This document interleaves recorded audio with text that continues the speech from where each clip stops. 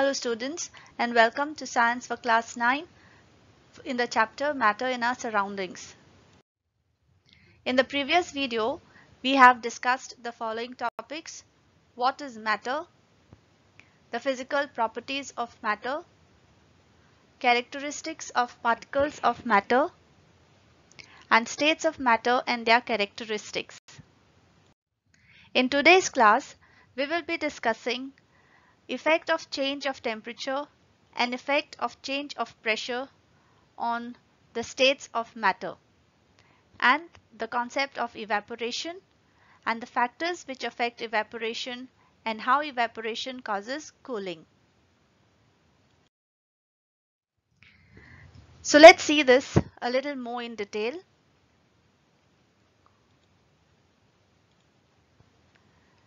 In change of temperature, we will be discussing the following points. What is melting point? What is latent heat? What is meant by boiling point and sublimation? In change of pressure, we will learn about liquefaction of gases and in evaporation, the factors and effects. Can matter change its state? States of matter can be changed by applying external forces. Solids can be changed into liquid and liquid can be changed into gas. For example, ice is solid form of water, water is liquid state and vapor is a gaseous state of water. That means water exists in all the three states of matter. Ice which is in the solid state, water which is in the liquid state and vapor which is gas. Let's look at this illustration here. Pay attention to what is written at the side. On the left hand side I have written cool and on the right hand side I have written heat. This denotes the temperature. So when we say cool there is a decrease in temperature and when we say heat there is an increase in the temperature. So let's begin with ice which is in the solid state. If ice which is in the solid state is kept out at room temperature or subject to heat which means there is an increase in the temperature, ice is going to get converted to water which is a liquid state. Now water when subject to increased temperature will get converted to vapor which is the gaseous state. Now let's look at this. What would happen if the temperature is decreased? Vapor, when it is undergoing condensation, it will cool down and get converted to water. And when water is kept in the fridge or in the refrigerator, the temperature is reduced and hence the water will get converted to ice. Let's begin with the first factor which affects the change in the state of matter. We will begin with the effect of temperature. As I spoke in the previous slide, we know now that with increase in temperature, solids will change into liquid and the liquid changes into gas. While when there is a decrease in temperature, a gas will change into liquid and the liquid will change into the solid state.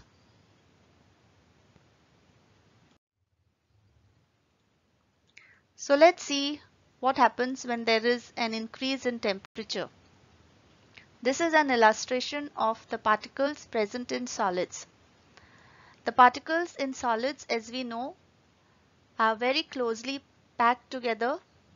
They are held together by strong forces of attraction and the space between the particles is minimum. On increasing the temperature of solids, the kinetic energy of these particles will increase Due to increase in the kinetic energy, the particles start vibrating with greater speed. The heat supplied by heat overcomes the forces of attraction between the particles and the particles leave their fixed positions and start moving freely. A stage is reached when the solid will melt and get converted to the liquid state. Now we know that in the liquid state the space between the particles is more as compared to the solids and the particles are held by weaker forces of attractions as compared to the solid. So since there was increase in temperature and the forces of attraction between the solid particles has weakened due to increase in temperature, the solid melted and got converted into the liquid state. So on further increase in temperature, the same phenomenon will take place and a liquid will change into gas, which means when a liquid is subject to increase in temperature, the particles in the liquid state will also be undergoing an increase in the kinetic energy.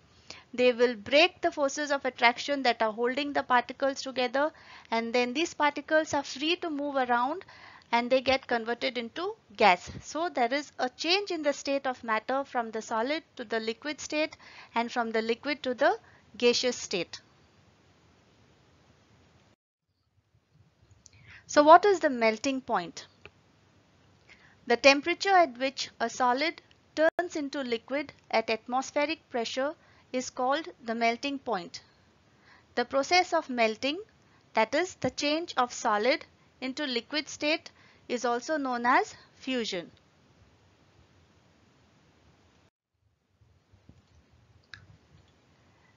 We need to keep a few things in mind the melting point of a solid is an indication of the strength of the force of attraction between its particles. So what does this mean? Would all solids melt at the same temperature? No, because the melting point is going to depend upon how strongly the particles are held together in the solid. So let's look at this. This is an ice cube. What would be the melting point of ice. The melting point of ice is 273.16 Kelvin. Now here we have another solid uh, matter which is iron. Would iron melt at the same temperature or would iron have the same melting point as ice? The melting point of iron is 1538 degrees Celsius or 1538 degrees Celsius. I have already uh, shown you how to convert from degrees Celsius to Kelvin. If you have missed that video, kindly go and watch the video so that you can do the conversions easily. Do convert this degree Celsius to Kelvin scale and you can uh, leave it, leave the answer in the comment section. So if you look here, the melting point of ice and the melting point of iron is different. This is because of the strength of forces of attraction between the particles present in ice and the strength of forces of attraction between the particles in iron is different. When a solid melts, its temperature remains the same. So where does the heat energy go? In the melting of ice, the temperature of the system does not change after the melting point is reached, even if we continue to supply heat. So this heat gets used in changing the state by overcoming the forces of attraction between the particles. This heat energy is absorbed by ice without showing any rise in temperature. And we say that this heat is hidden in the contents of the container in which the ice is being melted. So since this heat is hidden, we say that this heat is the latent heat. Latent means to lie hidden. Thus, latent heat means the internal heat in the system. The heat absorbed or released by a substance during the change in its phase without changing in its temperature is called latent heat. In other words, the heat required to convert a solid into liquid or a liquid into solid without change in temperature is called latent heat.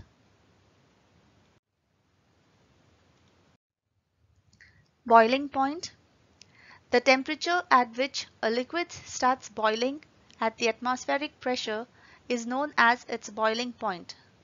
Boiling is a bulk phenomenon. particles from the bulk of the liquid gain enough energy to change into vapor state. The boiling point of water is 373 Kelvin or 100 degrees Celsius. Let's discuss about this a little more in detail. The changing of water into vapor that is changing of liquid into gaseous state. This will take place when the water has reached its boiling point. Now water gets converted into vapor when required heat is supplied to it. When heat energy is supplied to water, the particles of water start moving even faster. At a certain temperature, a point is reached when the particles have enough energy to break free from the forces of attraction of each other. At this temperature, the liquid starts changing into gas. So let's look at this illustration here. These are the particles of matter present in the liquid.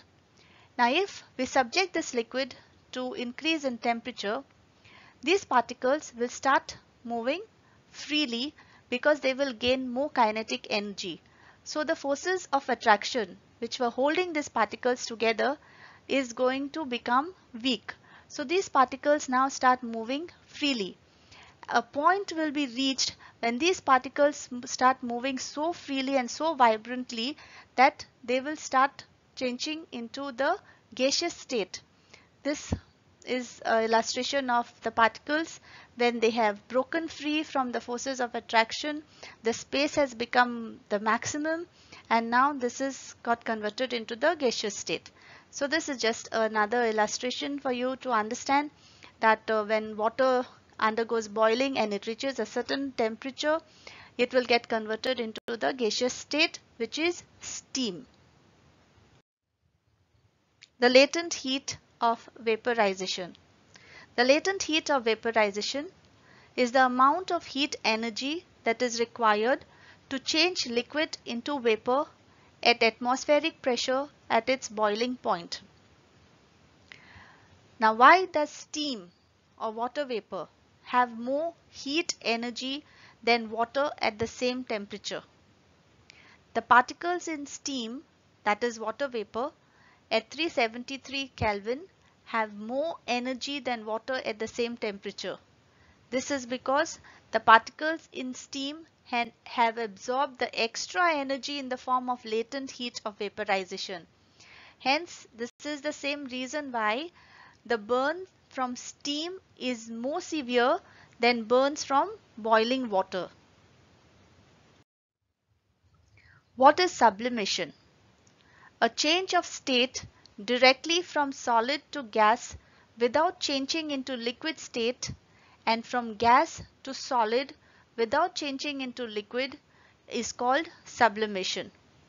Now we all know that solid like ice will change into liquid and then change into a gas. But in sublimation the change is directly from solid to gas or from gas to solid without changing into the liquid uh, state at all. Matters can change their state from solid to liquid and from liquid to gas on application of heat. This is what we have discussed in uh, a few minutes ago. But there are some substances which change directly from solid to gas on application of heat. This phenomenon is known as sublimation. The examples are camphor or ammonium chloride. This is camphor. When heated, camphor or ammonium chloride changes from solid to gas without changing into liquid and from gas to solid without changing into liquid. So here we have an example of sublimation of ammonium chloride. You can uh, follow this activity on your textbooks. Now let us discuss how the effect of pressure can bring about a change in the state of matter. By applying pressure and reducing temperature, gases can be liquefied. That is, gases can be changed into liquid. Now this is a container in which gas is present. Now if we use a piston to push, so we are applying pressure on the gas present in the cylinder. So when pressure is applied to the gas in the cylinder and the pressure brings the particles of matter together, this gas can get liquefied. It gets converted into the liquid form. Now, this is simply, this can be simply stated by saying that an increase in pressure brings the particles closer and this increases the force of attraction between them and this brings about the change in the state of matter. Carbon dioxide gas is, is solidified by applying high pressure and solid carbon dioxide is known as dry ice. Now here is solid carbon dioxide which gets converted directly to the gaseous state without undergoing a change into the liquid state. So why is solid carbon dioxide known as dry ice? Solid carbon dioxide gets converted directly to the gaseous state on decrease of pressure to 1 atmosphere without coming into the liquid state. Hence for this reason it is known as dry ice. We know ice formed from water is going to get converted into the liquid state before it gets converted into the gaseous state. And water is wet, it is not dry. Whereas solid carbon dioxide gets converted directly from the solid state into the gaseous state. Thus we can say that pressure and temperature determine the state of a substance whether it will be solid, liquid or a gas.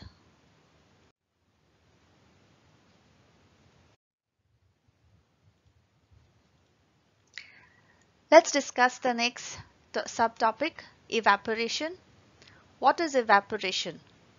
The process of conversion of a liquid into vapor at any temperature below its boiling point is called evaporation. Evaporation is a surface phenomenon. The particles of a liquid have different amount of kinetic energies. The particles present at the surface possess comparatively higher kinetic energy as compared to those present in the bulk. Therefore, particles at the surface with higher kinetic energy are able to break away from the forces of attraction of other particles and get converted into vapor. Examples are uncovered water which will slowly change into vapor because of evaporation and the drying up of wet clothes happens because of evaporation.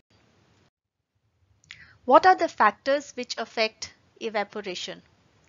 Surface area, temperature, humidity and wind speed affect the phenomenon of evaporation. So this means that evaporation depends on surface area, temperature, humidity and wind speed. Let us discuss the first factor, surface area and how it affects evaporation. Increase in surface area increases the rate of evaporation. For example, clothes are spread up before putting them for drying. This happens because with increase in surface area, more particles of liquid which are at the surface will increase the rate of evaporation.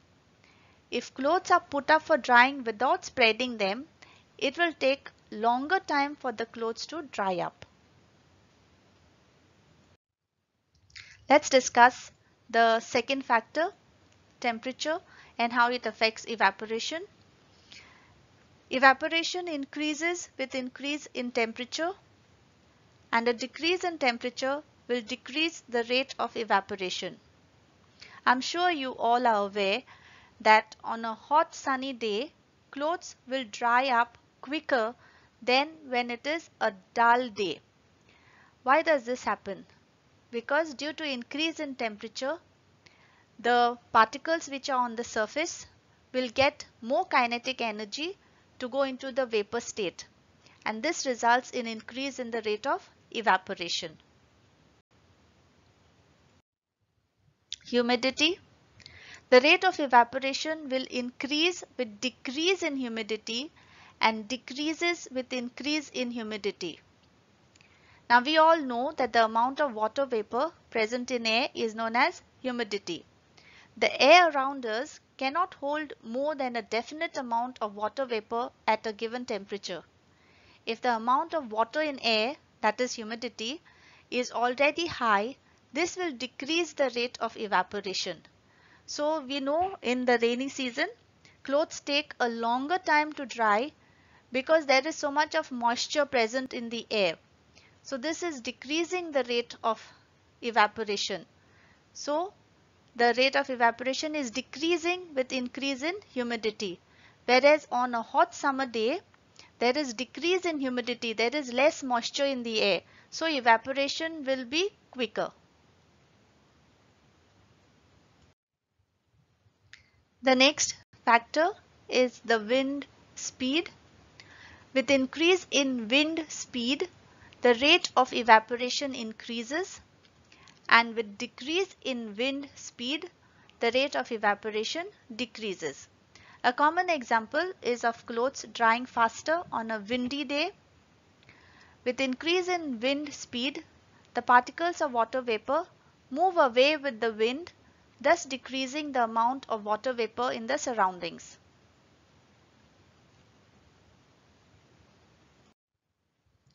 Let us now discuss the effects of evaporation.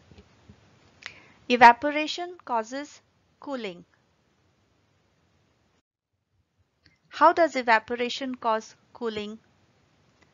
In an open vessel, the liquid keeps on undergoing evaporation. The particles of liquid absorb energy from the surrounding to regain the energy lost during evaporation. The absorption of energy from the surroundings make the surrounding cool. Let us take some daily life examples of cooling effect of evaporation.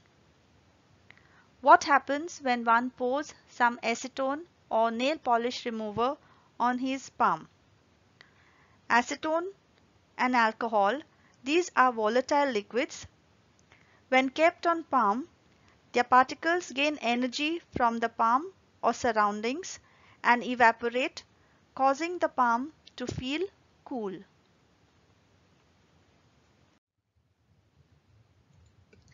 Why do people sprinkle water on the roof or open ground on hot sunny days?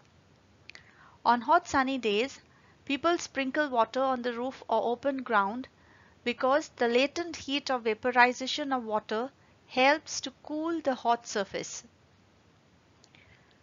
Why do we wear cotton clothes in summer? During summer, we perspire or sweat more than other days. Perspiration is a mechanism of body which keeps our outer surface cool on hot days. Cotton is a good absorber of water and it helps in absorbing the sweat and exposes it to the atmosphere for easy evaporation. This keeps us more cool. Thus, in summer, we are advised to wear cotton clothes. This is all for today's class. Don't forget to convert the given temperature to Kelvin and leave your answer in the comments below. Thank you.